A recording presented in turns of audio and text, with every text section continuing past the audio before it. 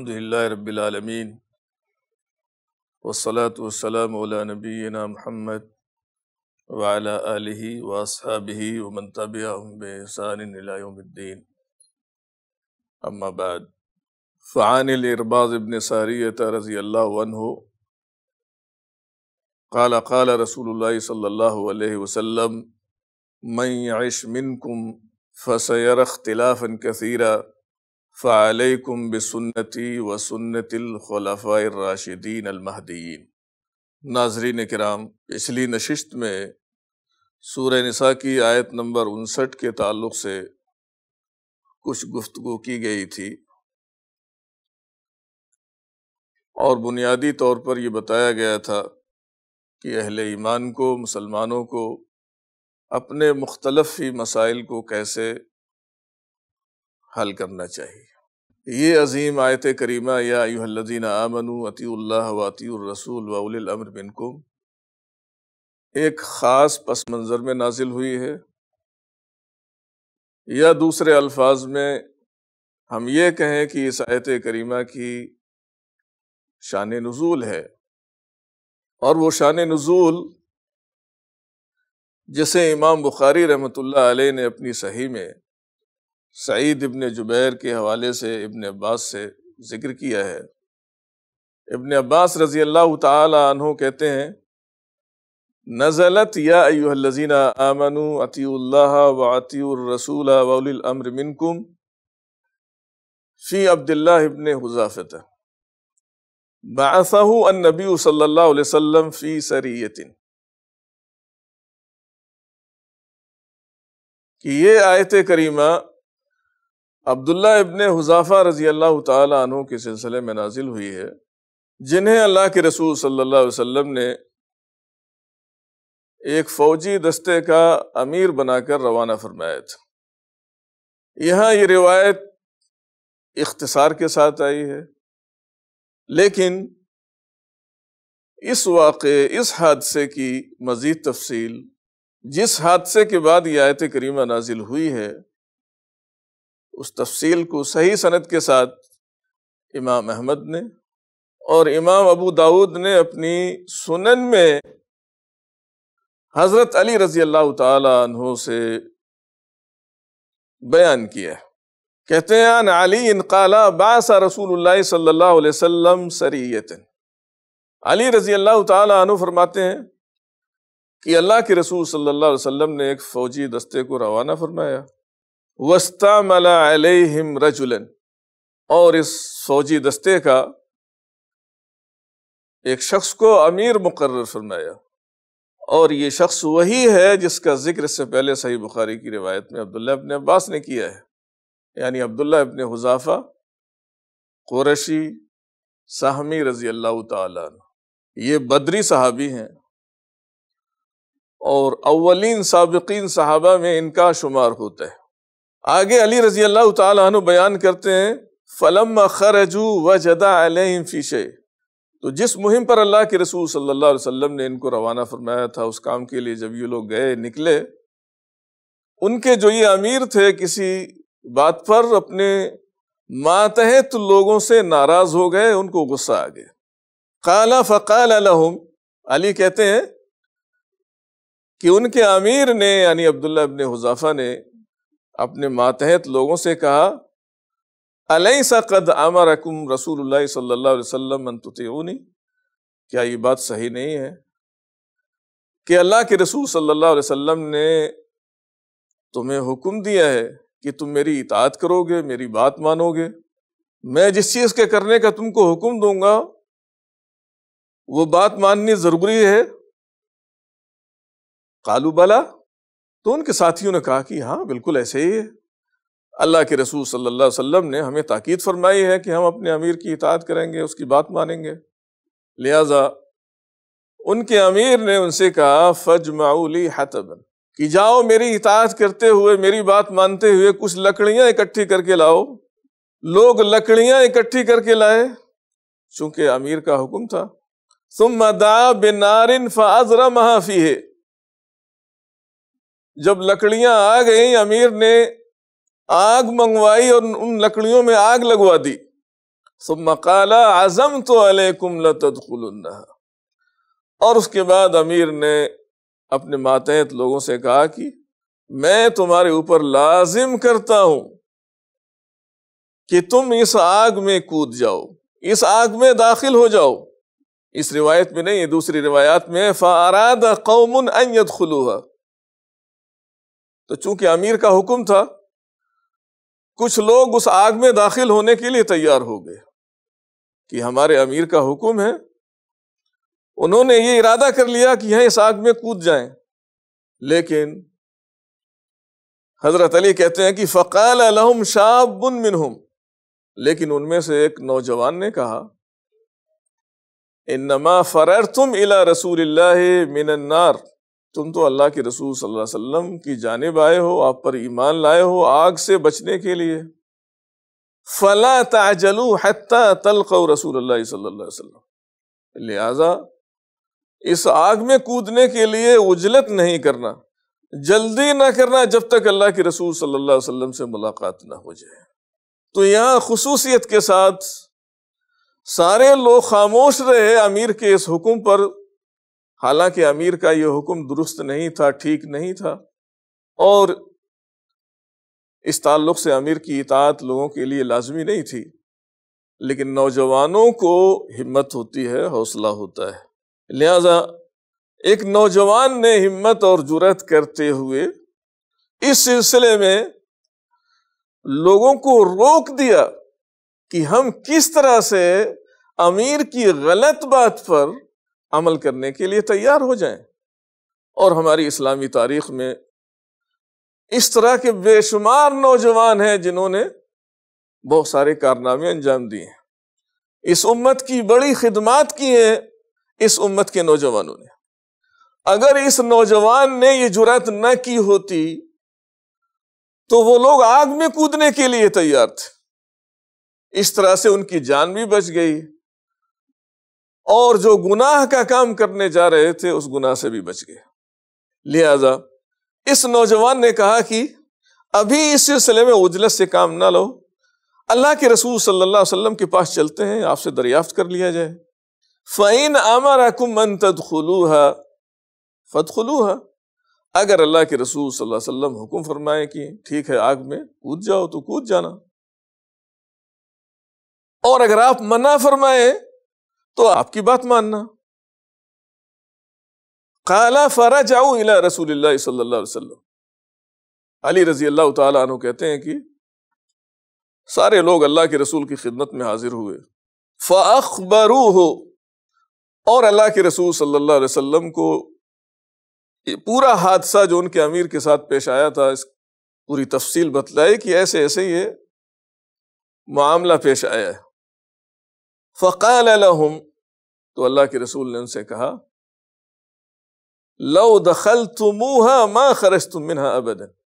अगर तुम अमीर के हुक्म के मुताबिक इस आग में दाखिल हो गए होते तो उससे कभी निकलते नहीं। बाज साहबा के जहन में ये बात थी कि चूँकि हमारे अमीर का ये हुक्म है, अगर हम अमीर के हुक्म से इस आग में कूद जाएँगे तो आग हमको जलाएगी नहीं। इसलिए कि अमीर की इतात करते हुए ही काम हम अंजाम दे रहे हैं। लेकिन अल्लाह के रसूल सल्लल्लाहु अलैहि वसल्लम ने फरमाया कि अगर तुम इस आग में दाखिल हो जाते तो वो आग तुमको जला के खत्म कर देती और तुम्हारी मौत हो जाती, तुम उससे नहीं निकल सकते थे। उसके बाद अल्लाह के रसूल सल्लल्लाहु अलैहि वसल्लम ने फरमाया इन्नमतातु फिल मारूफ। कि अमीर की इतात किस तरह के कामों में करनी होगी? जो काम भलाई के हैं, जो काम नेकियों के हैं, हमारी शरीयत, हमारे दीन में जो इतात के काम हैं, जो नेकी के काम हैं, उन कामों में अगर अमीर उनके करने का हुक्म देता है तो उसकी बात मानी जाएगी। लेकिन अगर कोई अमीर, कोई हाकिम कोई जिम्मेदार, कोई आलिम दीन, शरीयत के खिलाफ कोई काम करने का हुक्म देता है। ऐसी सूरत में उसकी बात नहीं मानी जाएगी, उसकी इतात नहीं की जाएगी। ओलमा ने लिखा है यहाँ कि अल्लाह के रसूल सल्लल्लाहु अलैहि वसल्लम ने हाकिम और अमीर की इतात के ताल्लुक से बहुत सारे इर्शादात बयान फरमाए उनमें से आपका एक इर्शाद ये है, मन अता अमीरी फ़कद अता फ़कद अता आनी वमन आसा अमीरी फ़कद आसानी। कि जिस शख्स ने मेरे अमीर की इतात की, उसने मेरी इतात की। जिसने मेरे अमीर की नाफरमानी की, हुक्म उदूली की, उसने मेरी नाफरमानी की। इस तरह की और भी दीगर अहादीस हैं जिनमें कोई शर्त और कोई कैद अमीर की इतात से मुतालिक मौजूद नहीं है। लेकिन अल्लाह के रसूल सल्लल्लाहु अलैहि वसल्लम ने अपने इस इरशाद में ये कैद बयान फरमा दी, ये शर्त बयान फरमा दी है कि इस उम्मत का कोई भी फर्द है, कोई भी शख्स है खा वो हाकिम वक्त हो, या अमीर हो, या आलम दीन हो फ़की हो, मुस्तहिद हो, इमाम हो, उसकी इतात भलाई और नेकी के कामों ही में की जाएगी। अगर उसका कोई हुक्म शरीयत के खिलाफ है तो ऐसी सूरत में उसकी इतात नहीं की जाएगी। तो इस हादसे, इस वाक़े से भी ये बात मालूम हुई कि इख्तिलाफ हो जाना ये एक फितरी चीज़ है। अल्लाह के रसूल सल्लल्लाहु अलैहि वसल्लम के सहाबा और आपके साथियों से अफजल और बेहतर कौन हो सकता है? जब उनके दरमियान इख्तिलाफ हो गया तो हमारे और आपके दरमियान या बाद में आने वाले इस उम्मत के जो अफराद हैं, उनके दरमियान इख्तिलाफ का हो जाना एक फितरी चीज़ है। लेकिन यहाँ यह भी देखना होगा कि इस इख्तिलाफ को हल कैसे किया? इस इख्तिलाफ का हल कैसे निकला? चूँकि अल्लाह के रसूल सल्लल्लाहु अलैहि वसल्लम मौजूद थे। अल्लाह के रसूल के सामने इस मसले को लोगों ने ज़िक्र किया कि अमीर कहता है कि आग में कूद जाओ और हम आग में कूदने के लिए या कुछ लोग आग में कूदने के लिए तैयार नहीं हुए। एक तरह से उन्होंने अमीर की इतात नहीं की, उन्होंने अमीर की नाफरमानी की।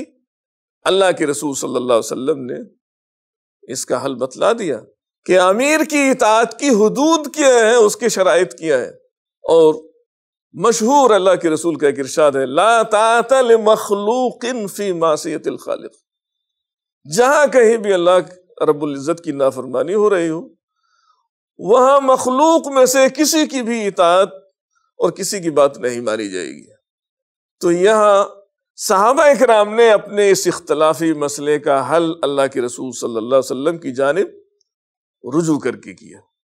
और यही बात अल्लाह रब्बुल इज़्ज़त ने आयत करीमा में बयान फरमाई है कि जब भी इस तरह की कोई सूरत हाल सिचुएशन अहले ईमान के दरमियान पेश आ जाए तो उन्हें अपने इस इख्तलाफ को कैसे हल करना है?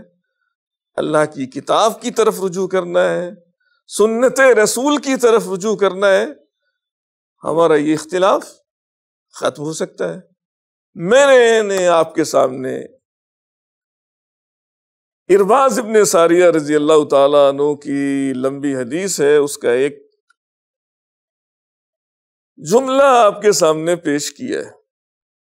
कहते हैं कि काला रसूलुल्लाह सल्लल्लाहु अलैहि वसल्लम मैश मिन बादी फसयरा इख्तिलाफन कसीरा ये इरशाद अल्लाह के रसूल सल्लल्लाहु अलैहि वसल्लम ने अपनी ज़िंदगी की आखिरी अयाम में फरमाया अपने साथियों को खिताब किया है साहब इकराम को खिताब किया है कि मेरे दुनिया से चले जाने के बाद तुम में से जो शख्स ज़िंदा रहेगा क्या होगा फसरा इख्तिलाफन कसीरा। तो बहुत सारा इख्तिलाफ देखेगा। लोगों में, आपस में तरह तरह के इख्तिलाफात पैदा होंगे। बल्कि अल्लाह के रसूल सल्लल्लाहु अलैहि वसल्लम ने एक दूसरी सही और मशहूर हदीस में ये पेशीन गोई फरमाई है कि यहूद इकहत्तर फिरकों में तकसीम हो गए नसारा बहत्तर फिरकों में तकसीम हो गए और मेरी ये उम्मत तिहत्तर फिरकों में तकसीम हो जाएगी। सिर्फ़ एक फिरका ऐसा होगा जो जन्नती होगा और वो जमात, वो गिरोह, वो होगा जो अल्लाह के रसूल सल्लल्लाहु अलैहि वसल्लम की सुन्नत और आपके सहाबा के तरीके पर चलने वाला हो अल्लाह के रसूल सल्लल्लाहु अलैहि वसल्लम के इस इरशाद के मुताबिक इख्तिलाफात इस उम्मत में पैदा होंगे। इससे फिरार इख्तियार नहीं किया जा सकता है।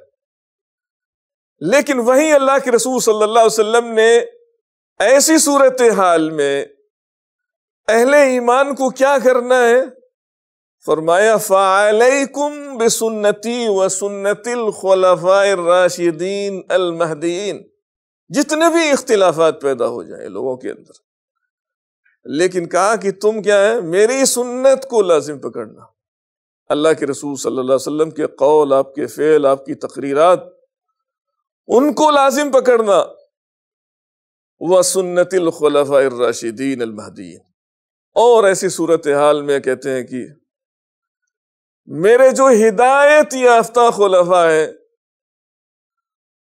उनकी सुन्नत को लाजिम पकड़ना। अल्लाह के रसूल सल्लल्लाहु अलैहि वसल्लम के हिदायत याफ्ता खुलफा कौन है? मशहूर चार लोगों का नाम ज़िक्र किया जाता है। अबू बकर सिद्दीक रज़ी अल्लाह तु उमर रज़ी अल्लाह तु उस्मान और अली रज़ी अल्लाह तु और बाज ने खुलफाए राशिदीन में हज़रत हसन रज़ी अल्लाह तु को भी ज़िक्र किया है। बाज मर्रखीन ने उमर इबन अब्दुल अज़ीज़ रहमत को भी खुलफाए राशिदीन में शुमार किया है। लेकिन हम मशहूर तफसीर के मुताबिक, मशहूर कौल के मुताबिक, ये जो चार खुलफाए राशिदीन है, तबक़ सहाबा में से, अबू बकर, उमर, उस्मान, अली रज़ी अल्लाह तुम अजमैन कहा कि इनकी सुन्नत को लाजिम पकड़ना। इनकी सुन्नत, इनका तरीका क्या था अगर किसी तरह के कोई इख्तिलाफात पैदा होते थे? असल चीज़, अमली चीज़ ये देखने की है कि इस उम्मत के जो अव्वलीन ये चार मुसलमानों के खलीफा हैं, इन्होंने क्या रविश इख्तियार की? अगर इस तरह की कोई सूरत हाल पेश आई है, कोई दीनी, कोई शराई मसला दरपेश आया है, लोगों ने उसमें इख्तिलाफ किया है तो इन लोगों ने किस तरह से उन इख्तिलाफी मसाइल को हल किया है? असल चीज़ ये देखने की है और ये समझने की है। अबू बकर सिद्दीक रज़ी अल्लाह तहों की रविश क्या थी? अगर कोई इख्तलाफी मसला उनके सामने आया, या हज़रत उमर रज़ी अल्लाह तहों के सामने कोई इस तरह का मसला आया उनका क्या तरीका रहा? हज़रत उस्मान रज़ी अल्लाह तहों के सामने कोई इख्तलाफी मसला आया? उनका क्या तरीका रहा? और हज़रत अली का क्या तरीका रहा? इन चारों खलफाए राशिदीन का तरीका? अल्लाह के रसूल सल्लल्लाहु अलैहि वसल्लम के तरीके से मुख्तलिफ़ नहीं था। इन चारों खुलफा ने हमेशा इस बात की कोशिश की है कि हर हाल में अल्लाह की किताब की तरफ़ रुजू किया जाए, अल्लाह की किताब की इतबा की जाए, अल्लाह के रसूल सल्लल्लाहु अलैहि वसल्लम की सुन्नत की तरफ़ रुजू किया जाए, अल्लाह के रसूल सल्लल्लाहु अलैहि वसल्लम की सुन्नत की पैरवी की जाए। अगरचे इनका इश्तिहाद, अल्लाह के रसूल की सुन्नत या आपकी हदीस न पहुँचने की सूरत में इन्होंने इश्तिहाद किया और उस पर अमल भी करवाया लोगों से। लेकिन इनमें से चारों में से कोई हस्ती ऐसी नहीं है कि एक तरफ़ इनका इश्तिहाद हो और दूसरी तरफ़ अल्लाह के रसूल सल्लल्लाहु अलैहि वसल्लम की सुन्नत और आपकी हदीस हो और दोनों में टकराव पाया जाता हो, एक दूसरे के खिलाफ हो। ऐसी सूरत में किसी ने भी ज़रूरत नहीं की कि वो अपने इश्तिहाद पर कायम रहे, बल्कि अल्लाह के रसूल सल्लल्लाहु अलैहि वसल्लम की सुन्नत ही को तरजीह दी है। उसी को आगे रखा है। इसलिए कि अल्लाह रब्बुल इज़्ज़त ने जो उसूल सारे मुसलमानों को दिया है वो उसूल साहब इकराम के लिए भी था और उन्होंने इस उसूल को अच्छी तरह से समझा। समझने के बाद अमली तौर से उसको करके भी दिखाया है कि किस तरह से किताबुल्लाह सुन्नत रसूल की इत्तिबा और पैरवी की जानी चाहिए।